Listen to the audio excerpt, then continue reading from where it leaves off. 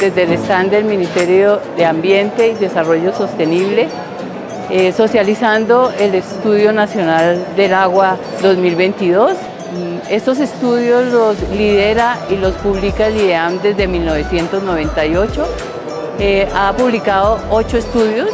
Eh, el estudio pues, presenta una evaluación integrada del agua eh, presenta el estado, el comportamiento, una evaluación integral a partir de indicadores, eh, eh, presenta también el uso del agua y sus proyecciones.